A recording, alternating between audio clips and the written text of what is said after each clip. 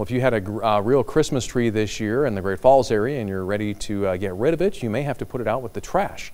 The City of Great Falls says unlike previous years, there's no tree recycling program. Trees can be put out for collection, placed three to four feet away from your normal collection container. In past years, trees could be dropped off at collection sites around town for use as fish habitat. The city says Walleyes Unlimited, which usually funds that program, didn't have money available this year. Great Falls Sanitation Collection is also running a day behind their normal schedule due to the New Year's holiday.